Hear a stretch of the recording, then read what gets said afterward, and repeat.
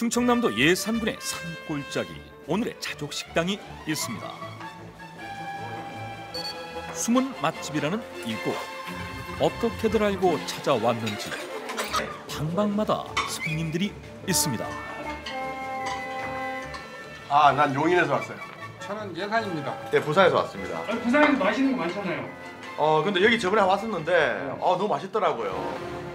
전국 손님들을 사로잡은 자족 메뉴 과연 정체는 애기 매운탕 나왔습니다. 음, 매운다. 몸보신 하고 싶은 자 산으로 오라. 촬영 산맥 숨은 고양시. 매기가 바로 그 주인공입니다.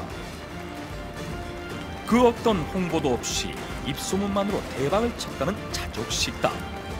얼큰한 국물 속 큼직한 매기살. 이 한 입이면 식당을 다시 찾을 수밖에 없다고 하는데요 집에 가서도 생각난다는 쫀득한 속살 매운탕의 얼큰 칼칼한 국물이 바로 인기의 비결이라고 합니다 어이구 이거 대박이 크다. 아주 응?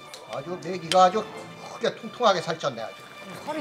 많아요. 어찌나 큰지 양껏 덜어 먹어도 부족함이 없다는 매기 매운탕 수제비도 있다.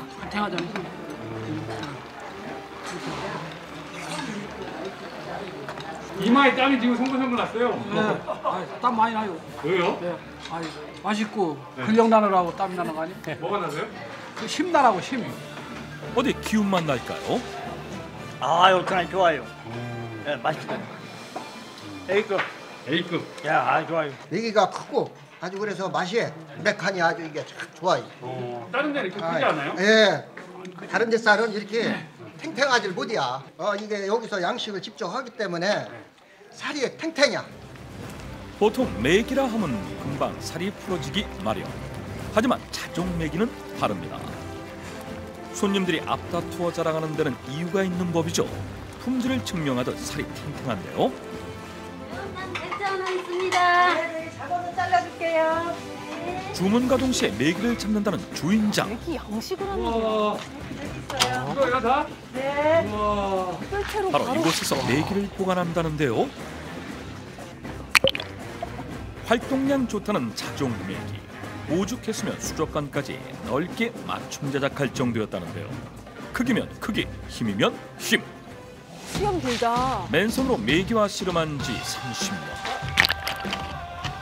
잡는 것도 보통 일이 아닐 것 같은데요. 빠져나가지 못하도록 한 방에 낚아채야 겨우 잡는다고 합니다. 오. 어, 움직여요. 네, 막 움직여요. 우와.